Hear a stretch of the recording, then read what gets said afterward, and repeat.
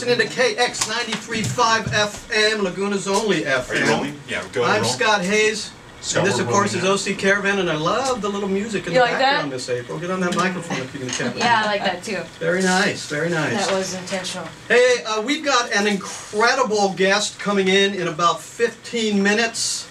We have the Grammy Award winning singer songwriter Macy Gray in the studio live. I am jumping for And joy. we got voices all over the place. We got the camera crew set up. We got a new camera crew, by the way, courtesy of Nick Walker. We got Katie Fetters over there on one camera. And Brian, Brian, what's your last name, by the way? Crawford? Crawford, Brian Crawford on the other camera.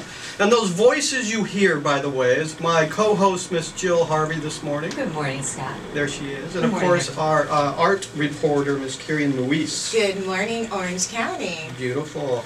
Just a reminder, OC Caravan airs 8 p.m. Saturdays, 12 noon Sundays. 8 p.m. Saturdays, 12 noon Sundays. And on Cox Channel 3, 240, 250,000 Cox cable subscribers. Tonight and tomorrow's episode is one we did about a year, nah, about a year ago that hasn't aired yet. And it's the uh, famed art forger, world's, he likes to call himself the world's most famous art forger, Tony Tetro. Uh, and he's an incredible guy. Have you met him before, Kieran? Familiar with his work, we Yeah. have met. Um, we met at a fundraiser. That's and right. He uh, told me about the BBC special on him. All of and that. Yeah, they, they say that um, at least one um, one painting in every museum in the world has a forgery by Tony. That's what they say, yeah, and he talks about that. In fact, at that thing that he attended, he he made a purchase form. Yes, he did, I he have it on my piano still.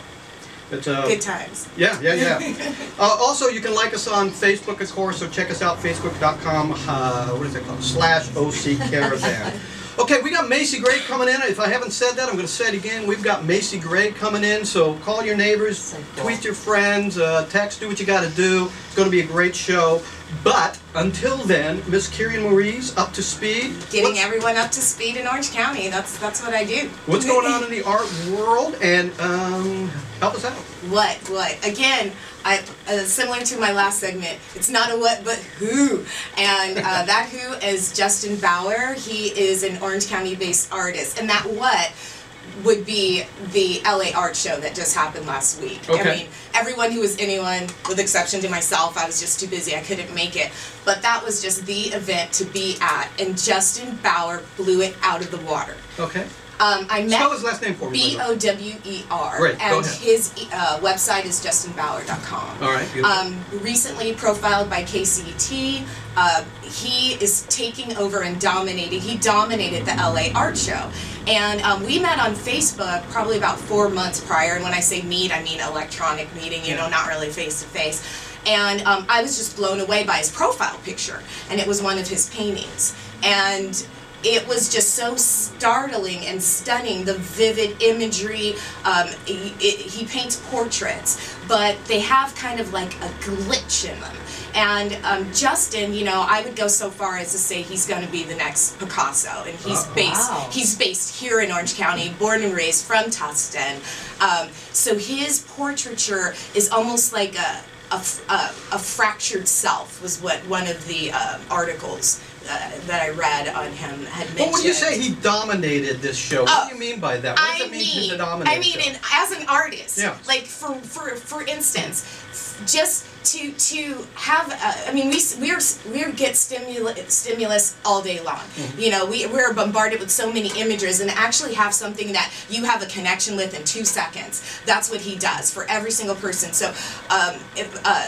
when I say he dominated, I mean there's a thousand comments on Facebook how the only reason they went to the show was to see his work or that he he made the entire show worth the drive. You know that's the response he's getting from the audience that's the response he's getting from the art world. He's represented currently by the ace gallery in beverly hills.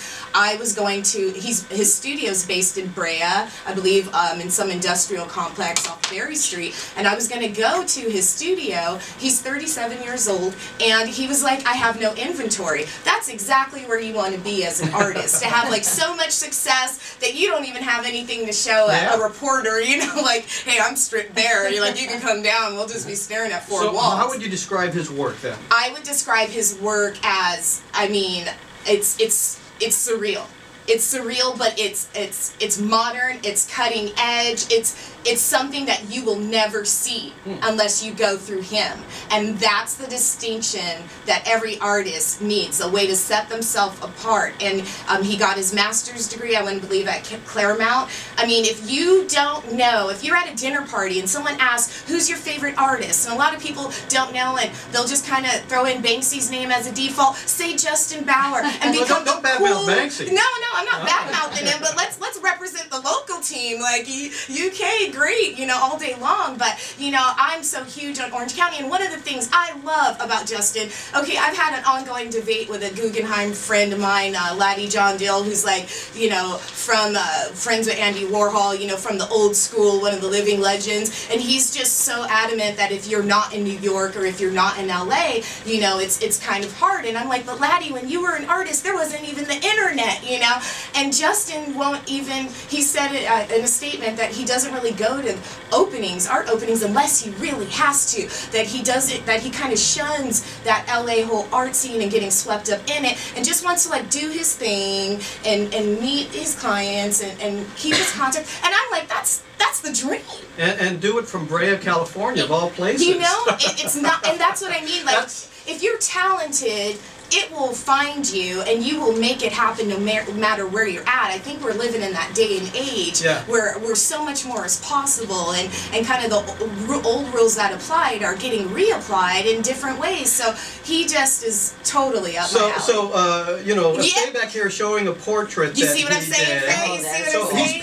Painting this portrait. He's painting Yeah, this. all right. So Google him, Very find cool. him on Facebook. Give us his He- name again. Justin Bower, justinbower.com. You, he's, I mean, he is such an incredible talent. We should be so proud. I mean, we've got Elizabeth Turk. We've got so many people just right here in our own backyard. I profiled her last week. Yeah. Elizabeth Turk and, and but Justin. I mean, we're really. I mean, we're making Orange County shine right That now. sounds great. And so I'm just, you know, get involved in the arts, support your artists, do what you can. JustinBower.com. JustinBower.com. This is Keariene Muizz getting you up to speed, Orange County. Be you for you. Nice, Karen. nice clothes on that. That deserves a little golf clap. Golf clap.